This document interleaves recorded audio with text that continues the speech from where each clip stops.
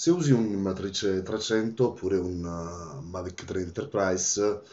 uh, sai bene, quindi DJI Pilot 2 come app preinstallata sullo smart controller, sai bene quali sono le difficoltà per uh, riuscire a volare con uno di questi droni su dei terreni inclinati, quindi seguendo quello che è l'andamento del terreno per riuscire a tenere un GSD costante, ma anche per ottimizzare quella che è la missione di volo.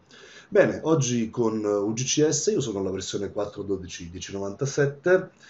eh, si riesce a creare la missione normalmente come si è sempre fatto, quindi ho creato la mia missione su un terreno inclinato e eh, adesso voglio eh, esportarla per eh, volare poi su DJI, con DJI Pilot 2, con il mio Matrice 300 oppure con il mio Mavic 3 Enterprise. Eh, è davvero sbalorditiva la semplicità con la quale oggi UGCS mette a disposizione questa feature, infatti basta andare nella, nei parametri del, eh, della missione che stiamo eseguendo e gli andiamo a dire esporta.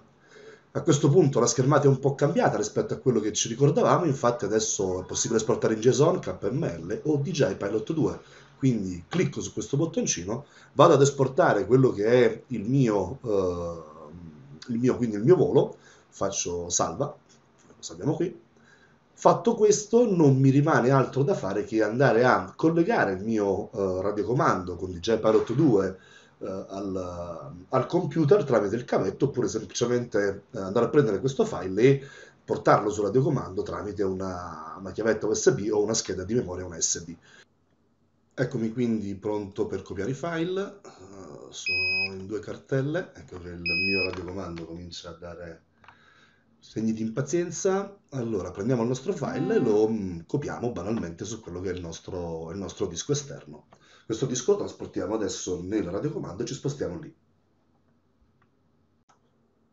Pronti per volare o per caricare la nostra missione, flight route, KMZ import, lo selezioniamo dalla scheda esterna,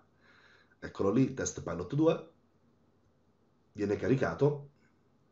Adesso andiamo a vedere cosa ha combinato.